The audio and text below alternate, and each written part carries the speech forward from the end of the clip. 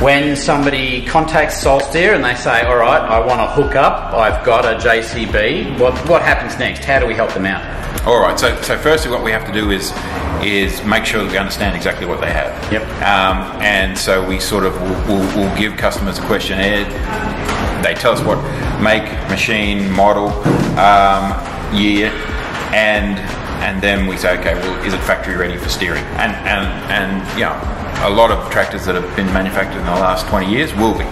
Um, there's there's some that aren't, and and you know we have some solutions for those. Uh, but by and large, they will be. We have to understand which Solsteer system is going to be appropriate for them. Right. Um, so that's just a little bit of a process we have to go through. Once we do that, it's a matter of us sending the kit. Yep. Um, and by and large, uh, you can either buy it from one of our dealers, and they'll include um, installation most likely in their in their sales price, uh, or you can buy it directly for us in, in, in some instances if there's not a local dealer available. And you know, by and large, it's a kit, and it's pretty simple. Yeah. And Solsteer UK supplies us with some pretty good instructions and, and pretty good manuals, wiring diagrams, etc., uh, to get these in tractors.